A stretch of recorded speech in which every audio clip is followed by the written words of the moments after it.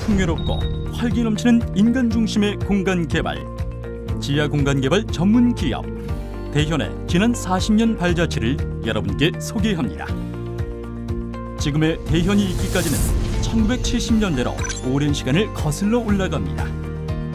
1975년 11월 11일 성중 지하상가 재개장을 시작으로 1976년 12월 21일 평화방산 지하상가 주식회사를 설립하였고 이듬해인 1977년 6월 11일 방산 지하상가를 준공하여 대현의 기틀을 마련하게 되었습니다.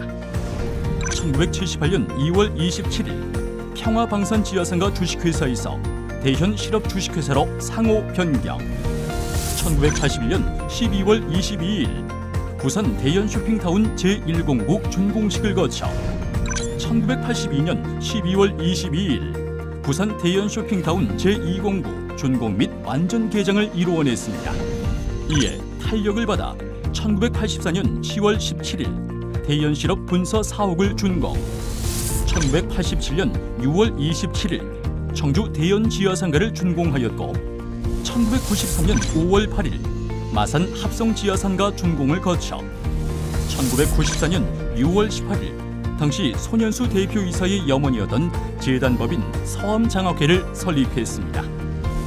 1995년 12월 19일에는 주왕산 온천관광호텔을 개장 1996년 4월 1일 대연 실업의 이미지 혁신을 위해 새로운 심벌과 로고를 제작하였습니다. 1997년 10월 3일 홍은사를 창건해 낙성 대법회를 거행하였고 2001년 7월 15일 대현 프리몰 BI를 개발하였습니다.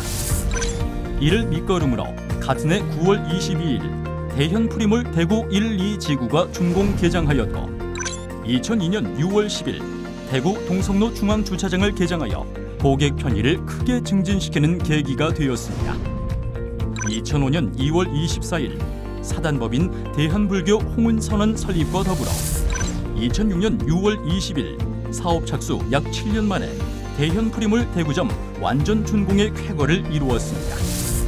2007년 9월 20일 대현 프리몰 청주점의 대규모 리모델링 공사가 완료되어 준공식을 가졌고 2009년 1월 20일 대현실업 주식회사의 손현수 회장이 명예회장으로 추대되었고 같은 해 3월 2일 사업 분리를 통해 주식회사 대현 프리몰이 출범하면서 손준석 대표 이사가 취임을 하게 되었습니다.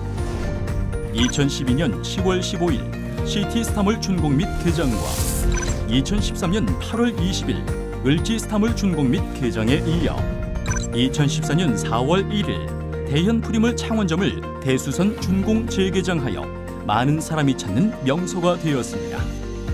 또한 2016년 12월 21일 창립 40주년 기념 행사와 함께 가치관 선포식을 개최하여 대현의 점진적 발전을 위해 모두가 힘을 쏟고 있습니다. 세상에 없던 공간 개발을 통해 행복한 삶에 기여하는 대현 공간 개발 Top Pride 대현 대현의 도전은 오늘도 계속됩니다.